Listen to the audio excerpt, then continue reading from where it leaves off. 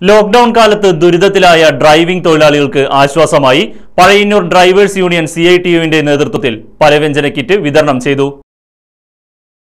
Covid പത്തൊമ്പതിന്റെ പശ്ചാത്തലത്തിൽ ഉപജീവന മാർഗം നിലച്ച ഓട്ടോ ടാക്സി തൊഴിലാളികൾക്ക് Pazhayannur auto taxi drivers union C I T യുവിന്റെ നേതൃത്വത്തിൽ പലവ്യഞ്ജന കിറ്റുകൾ വിതരണം ചെയ്തു.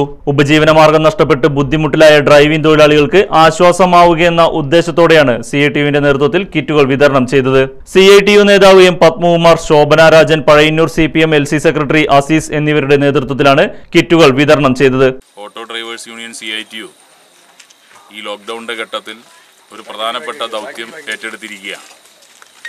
ഇപ്പോൾ കോവിഡ് പത്തൊമ്പതിന്റെ സാഹചര്യത്തിൽ പത്ത് നാൽപ്പത്തി രണ്ടോളം ദിവസങ്ങളായി ഉപജീവന മാർഗമായി ഡ്രൈവിംഗ് സ്വീകരിച്ചിട്ടുള്ള ഓട്ടോറിക്ഷ തൊഴിലാളികളും ടാക്സി തൊഴിലാളികളും അവരുടെ വല്ലാത്ത പ്രയാസത്തിലാണ് ബുദ്ധിമുട്ടിലാണ് ഇപ്പോൾ ഉള്ളത് കേരളത്തിലെ ഗവൺമെന്റ് കൊടുത്ത ഭക്ഷ്യധാന്യ കിറ്റുണ്ട്.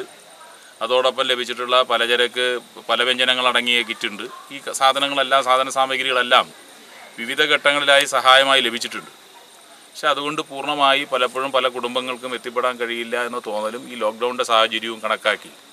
ഡ്രൈവേഴ്സ് യൂണിയൻ സി ഐ ടിന്റെ ആഭിമുഖ്യത്തിൽ പഴയന്നൂർ മേഖലയിലെ മുഴുവൻ തൊഴിലാളികൾക്കും അത് ഏതെങ്കിലും സംഘടനാ വ്യത്യാസം കണക്കാക്കിയല്ല എല്ലാ തൊഴിലാളികൾക്കും ഇന്ന് അവരുടെ വീടുകളിലെത്തി ഈ ചെറിയ കിറ്റ് കൊടുക്കുന്നതിന് വേണ്ടി തീരുമാനമെടുത്ത് നടപ്പാക്കിക്കൊണ്ടിരിക്കുകയാണ്.